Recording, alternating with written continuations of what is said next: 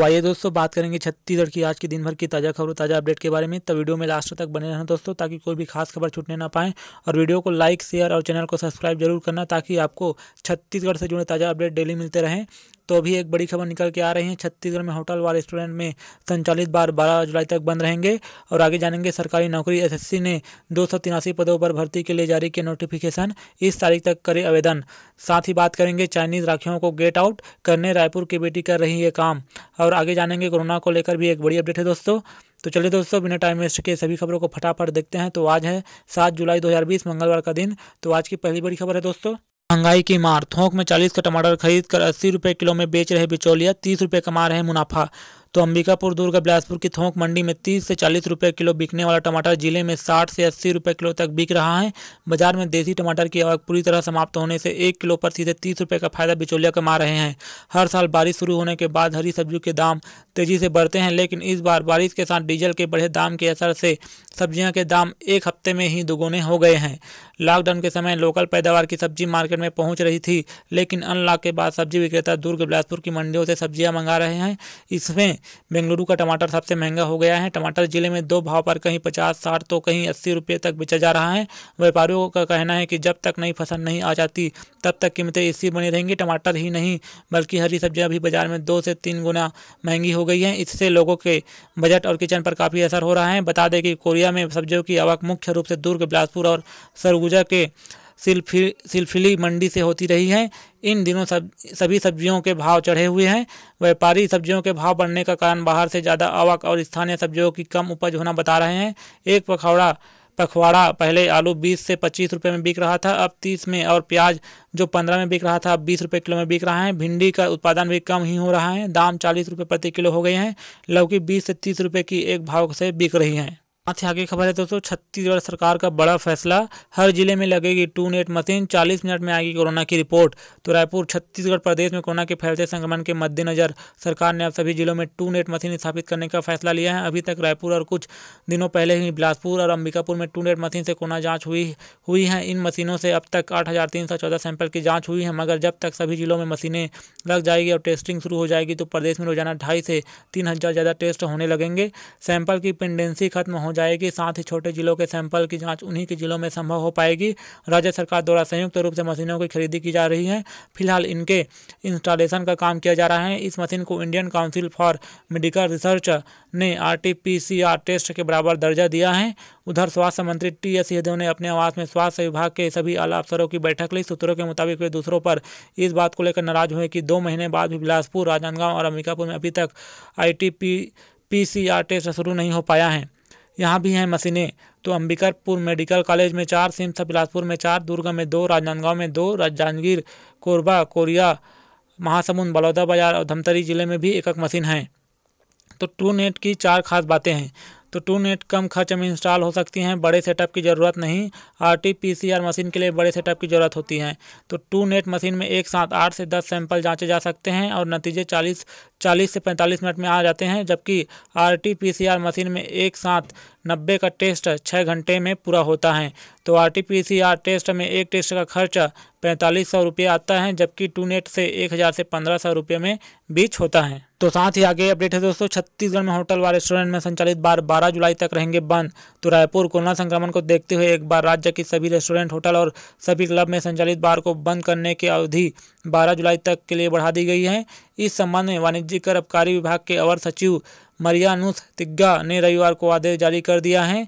पूर्व में पूर्व में पाँच जुलाई तक रेस्टोरेंट, होटल, बार और क्लब को बंद रखने का आदेश दिया था। जारी आदेश के मुताबिक होटल व रेस्टोरेंट में स्थित बार रूम स्टॉक रूम और मदिरा संग्रहण स्थल को बंद रखा जाएगा। इससे पहले वाणिज्यिक कर आबकारी विभाग द्वारा पाँच जुलाई तक रेस्टोरेंट, होटल, बार और क्लब को बंद रखने का आदेश जारी किया गया था। तो आदेश का कड़ाई से पालन करने के निर्देश तो इस अवधि को बढ़ाकर अब बारह जुलाई तक बंद रखने का आदेश दिए गए हैं। राज्य शासन द्वारा सभी जिला कलेक्टरों को इस आदेश का कड़ाई से पालन करने के निर्देश दिए गए हैं। साथ ही आगे अपडेट है दोस्तों, छत्तीसगढ़ दंतेवाड़ा में प्रेशर बम की चपेट में आकर टीआई सहित दो जवान घायल, नक्सली कैम्प ध्वस्त करके लौट रहे थे। तो दंतेवाड़ा, छत्तीसगढ़ के दंतेवाड़ा में सोमवार को प्रेशर बम की चपेट में आकर टीआई सहित दो जवान घायल हो गए। कांस्टेबल को ज़्यादा चोटें आई हैं, उसे जगदलपुर रेफर किया गया है। नक्सलियों के कैम्प ध्वस्त कर ये जवान लौट रहे थे। इसी बीच आईईडी विस्फोटक लगे होने की सूचना मिली थी। सर्चिंग के लिए वहाँ पहुँचे तो प्रेशर बम की चपेट में आ गए। घटना कटे कल्याण थाना क्षेत्र की हैं। इसकी पुष्टि एसपी अभिषेक पल्लव ने की है। तो पाँच पाँच किलो के तीन विस्फोटक बरामद तो कटे कल्याण क्षेत्र के मारजूम इलाके में इनामी नक्सलियों के मौजूद होने की सूचना मिली थी। इस पर डीआरजी डिस्ट्रिक्ट रिज़र्व गार्ड जवान सर्चिंग पर निकले थे। मारजूम इलाके में जवानों ने धावा बोला तो मौजूद नक्सली वहाँ से भाग निकले। इसके बाद जवानों ने वहाँ लगे कैम्प ध्वस्त कर दिए। मौके से जवानों को पाँच पाँच किलो के तीन आईईडी विस्फोटक और तीन पिट्टू बरामद हुए हैं। चिकपाल रोड पर हुआ विस्फोट। तो वहाँ से लौटने के दौरान जवानों को कलेपाल क्षेत्र में आईईडी लगे होने की सूचना मिली। इस पर टीआई बदरू पोटाम, बाइक पर कांस्टेबल सुरेश नाग के साथ मौके पर पहुँचे। चिकपाल रोड पर जवानों ने इसी दौरान एक प्रेशर बम विस्फोट हो गया। इसकी चपेट में अगर टीआई और कांस्टेबल दोनों घायल हो गए। जवानों ने मौके पर, मौके से तीन किलो का आईडी भी बरामद किया। बदरू पोटाम सरेंडर नक्सली हैं और प्रमोशन के बाद टीआई बने हैं। इसी बीच चकली बड़ी खबर है, दोस्तों, छत्तीसगढ़ अनलॉक टू का सातवां दिन तो कोरोना ने रोकी हाई कोर्ट में सुनवाई। एक सप्ताह के लिए बंद, व्यापारियों ने ई पास की अनिवार्यता खत्म करने मुख्यमंत्री को लिखा पत्र। तो रायपुर कोरोना संक्रमण के बीच प्रदेश में इन दिनों चिट्ठी पत्री चल रही है। सरकार की ओर से केंद्र को भेजे गए तमाम पत्रों के बाद अब व्यापारियों ने भी मुख्यमंत्री भूपेश बघेल को चिट्ठी लिखी है। व्यापारियों की मांग है कि ई पास की अनिवार्यता को खत्म किया जाए। व्यापारियों का कहना है कि इसको लेकर केंद्र सरकार ने पहले ही आदेश जारी कर दिए हैं। ई पास अनिवार्यता होने के चलते कारोबार प्रभावित हो रहा है। कैट और छत्तीसगढ़ चैम्बर ने कहा, कई राज्यों ने ई पास खत्म किए हैं। तो दरअसल केंद्र सरकार की ओर से ई पास की अनिवार्यता खत्म होने के बाद अब छत्तीसगढ़ में भी इसे खत्म करने की मांग तेज हो गई है। छत्तीसगढ़ चैम्बर और कैट की ओर से मुख्यमंत्री और सामान्य प्रशासन विभाग के सचिव कमल पी सिंह को चिट्ठी लिखी गई है। पत्र में कहा गया है कि दूसरे कई राज्यों ने ई पास की अनिवार्यता खत्म कर दी है, इसलिए छत्तीसगढ़ सरकार को भी इस नियम को खत्म कर देना चाहिए। ई पास की वजह से अभी दूसरे राज्यों या जिलों से आने जाने वाले कारोबारियों को परेशानी होती है, कई जगहों पर उन्हें रोका जाता है। मुख्यमंत्री ने पत्र में कहा, जिम संचालकों को आर्थिक परेशानी। तो वहीं दूसरी ओर मुख्यमंत्री बघेल ने प्रधानमंत्री नरेंद्र मोदी को पत्र लिखा है। इसमें उन्होंने जिम संचालन की सशर्त अनुमति देने का आग्रह किया है। मुख्यमंत्री ने कहा है, लॉकडाउन में चरणबद्ध रूप से छूट देते हुए आर्थिक गतिविधियाँ पुनः प्रारंभ की जा रही हैं। विभिन्न गतिविधियों का एएसओपी के पालन की शर्त पर भारत सरकार ने अनुमति दी है, लेकिन जिम संचालन की कोई अनुमति नहीं दी गई है। इससे जिम संचालकों को आर्थिक कठिनाइयाँ आ रही हैं। तो आगे बढ़ते हैं दोस्तों, आगे खबर है, चाइनीज़ राखियों को गेट आउट करने रायपुर की बेटी कर रही है काम। तो वे कहती हैं कि इसे बनाने का उद्देश्य ये चाइनीज़ राखी को टक्कर देना है। वो बताती हैं कि चमक धमक देखकर लोग लुभावन चाइनीज़ राखी को खरीदते रहे हैं, लेकिन हर, आज हर किसी का मूड बदला हुआ है। किसी न किसी तरह से आत्मनिर्भर भारत में अपना योगदान देना चाहते हैं। लॉकडाउन में काफ़ी समय मिला, पढ़ाई के साथ और ज़्यादा राखियाँ बना पाई ये कहा जा सकता है कि लॉकडाउन मेरे कला में निखार लाया है। उन्होंने कहा है कि पहले मैं सिर्फ़ अपने रिश्तेदारों के लिए राखियाँ बनाया करती थी, लेकिन लोगों की मांग को देखते हुए आज सभी के लिए राखियाँ बना रही हूँ। तो Ritika B com second year की स्टूडेंट है। वह पढ़ाई के साथ ही कई एक्स्ट्रा एक्टिविटी में भी एक्टिव रहती हैं। रितिका कहती हैं कि चीन के सामानों का बहिष्कार हम तभी कर सकते हैं जब हम छोटी छोटी चीज़ें अपने आसपास के लोगों से लोकली लेना शुरू करें। उनका कहना है कि छोटी कोशिशों से ही हम देश के लिए बड़ा योगदान दे सकते हैं इससे देश का पैसा देश में ही रहेगा। रितिका ने बताया कि जो राखियाँ वे बना रही हैं, उसमें सैगौन की लकड़ियाँ के टुकड़े, कॉटन के रंग बिरंगे धागे, मोतियाँ और चमकीले स्टोन का इस्तेमाल किया गया है।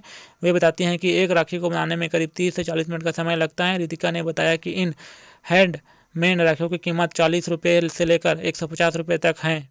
तो आगे खबर है दोस्तों, देसी ऐप अब टिकटॉक की तरह चिंगारी ऐप पर क्रिएटर्स को मिलेगा कमाई का मौका। अपना म्यूज़िक बनाकर कमा सकते हैं पैसा।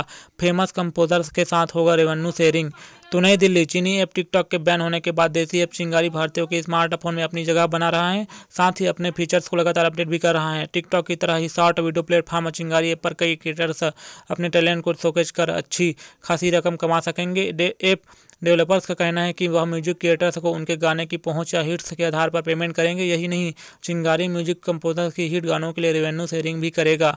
हम अपने देश के टैलेंट को प्रमोट करेंगे तो कंपनी के फाउंडर और chief product officer Sumit Ghosh ने मनी भास्कर से बातचीत में बताया कि देसी कंटेंट बनाने वालों के लिए चिंगारी पहले ही एक हार्ट हार्ट स्पॉट के रूप में उभरा है। इसे देखते हुए हम इस प्लेटफॉर्म को म्यूज़िक कंपोजर के म्यूज़िक कंपोजर्स के लिए भी दे रहे हैं। 16 मिलियन यूज़र के साथ चिंगारी प्रतिभाशाली म्यूज़िक कंपोजर्स को अच्छी खासी रीच देगा। इसका उद्देश्य यह है कि हमारे देश के टैलेंट को प्रमोट किया जाए। जल्द ही हम डांस और अन्य टैलेंट के ज़रिए क्रिएटर्स को अपने प्लेटफॉर्म से कमाने का मौका देंगी। हालाँकि कंटेंट का खास ध्यान रखा जाएगा। साथ ही आगे अपडेट है दोस्तों, रायपुर में कोरोना। तो विदेशी मेडिकल छात्र, पुलिसकर्मी और डॉक्टर सहित बारह संक्रमित मिले। ज़िले में एक्टिव केस हुए दो सौ दस। तो रायपुर, छत्तीसगढ़ में कोरोना संक्रमण का नया हॉट स्पॉट बन चुके हैं। रायपुर में सोमवार को फिर बारह नए मामले सामने आए हैं। इनमें दो विदेशी मेडिकल छात्र सहित पुलिसकर्मी और डॉक्टर भी शामिल हैं। इसके बाद ज़िले में एक्टिव केस की संख्या बढ़कर दो सौ दस हो गई है, जो कि पूरे प्रदेश का करीब तैंतीस फ़ीसदी है। इसमें आम लोगों के साथ ही पुलिसकर्मी डॉक्टर, छात्र और रिटायर्ड अधिकारी भी शामिल है। वहीं अब तक दो मरीजों की मौत हो चुकी है। तो रायपुर में सोमवार दोपहर करीब डेढ़ बजे तक कोरोना संक्रमण के मिले नए मामलों में एक नेचुरोपैथी डॉक्टर, पुराने पुलिस मुख्यालय के दो कांस्टेबल, दो विदेशी मेडिकल छात्र और एक सफ़ाई कर्मी बताए जा रहे हैं। इनमें एक पुलिस कांस्टेबल की पत्नी भी कोरोना संक्रमित मिली है। स्वास्थ्य केंद्र के दो स्वास्थ्य कार्यकर्ताओं की रिपोर्ट भी पॉजिटिव आई है। जिला प्रशासन ने इसकी पुष्टि की है।